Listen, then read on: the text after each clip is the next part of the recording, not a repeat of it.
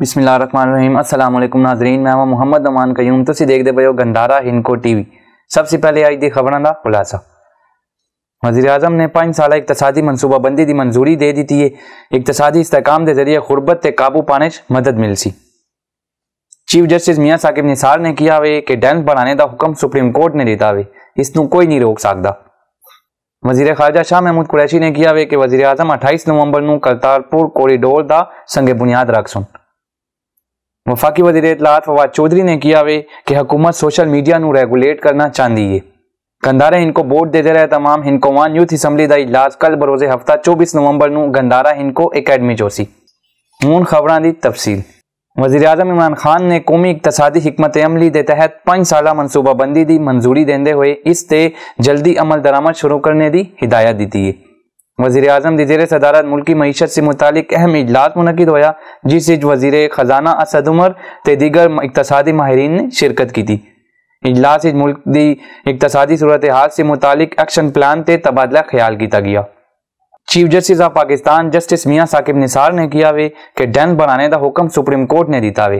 اس نو کوئی نہیں روک سکدا لندن دے ایک مقامی ہوٹل ہی دیا میر بھاشا ڈیم دے فنڈ ریزنگ ڈنر سی تقریب سے خطاب کرتے ہوئے انہوں نے کیا کہ برطانیہ فوری انصاف ملدا وے تے کرپٹ لوگاں نو برداشت نہیں کیتا جاندا۔ جد کہ میں نے اپنے ملک کی بڑی ناانصافی دیکھی ہے۔ ڈیم کا جہاں تک تعلق ہے، پاکستان کے لیے ناگزیر ہے اور اس میں کوئی دو رائے نہیں ہے۔ کہ آنے والے وقت میں پاکستان میں پانی کی بہت شدت سے کمی ہوگی۔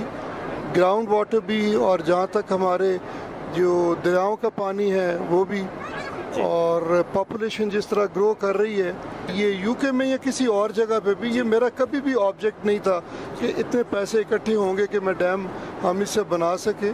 میرا آبجیکٹ ہمیشہ یہ تھا کہ یہ کیمپین بنے۔ اور آج لوگوں میں یہ شعور پیدا ہو گیا ہے کہ کس طرح سے ہم نے پانی کو کنزرو کرنا ہے اس کی کیا امپورٹنس ہے اور کس طرح پانی کو یوز کرنا ہے۔ بہت موٹیویٹڈ ہیں لوگ بڑے پیشنیٹ ہیں اور یہاں پہ بھی مجھے بہت سارے لوگوں سے یہی توقع ہے کہ وہ کنٹریبیوٹ کریں گے دل کھول کے۔ اور انشاءاللہ we'll be making the dam there is no doubt in my mind at all G. Thank you sir ہم آپ کے ساتھ ہیں اور دل کے حالات کیسے ہیں آپ کے؟ میرا دل تو دوسرے دن آپ نے دیکھ لیا تھا۔ I was out of the hospital and in the court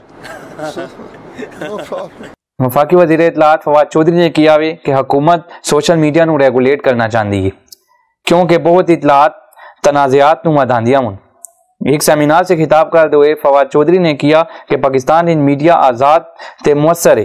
ساڑھے میڈیا دا مقابلہ ترقی یافتہ ملکہ نال ہے۔ سوشل میڈیا نو ریگولیٹ کرنے واسطے ترے دے بجائے ایک ریگولیٹری اتھارٹی بڑھانا دی منظوری دیتی جاندی پئی ہے ڈی ریگولیٹڈ ملک ہے جہاں تک میڈیا کا تعلق ہے اس سے بہتری کی گنجائش بہرحال ہمیشہ رہتی ہے بہتری کی گنجائش پاکستان میں بھی ہے لیکن جو اس وقت سب سے بڑا میڈیا کو خطرہ ہے وہ خود میڈیا اونرز کے بزنس ماڈلز ہیں کوئی بھی میڈیا کوئی بھی انڈسٹری یہ نہیں مان کے چل سکتی کہ ہمارا سکسٹی پرسنٹ بجٹ یا سکسٹی فائیو پرسنٹ بجٹ ہمیں گورنمنٹ دے گی اور ہم چلیں گے۔ گورنمنٹ نہیں دے سکے گی۔ پاکستان میں اس وقت جو ہماری اکنامک سچویشن ہے، جس میں ہم تیس ٹریلین روپوں کے قرضے کے نیچے دبے ہوئے ہیں، ہمارا امپورٹ ایکسپورٹ بیلنس آپ کے سامنے ہے، ہماری اوور آل اکنامک سچویشن آپ کے سامنے ہے۔ اور اگر یہ اکنامک سچویشن اچھی بھی ہو، تو بھی حکومت کا فرض نہیں ہے۔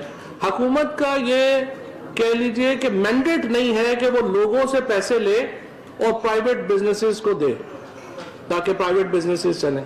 وزیر خارجہ شاہ محمود قریشی نے کیا ہوئے کہ وزیر اعظم عمران خان اٹھائیس نومبر نو کرتارپور کوریڈور دا سنگ بنیاد رکھ سن۔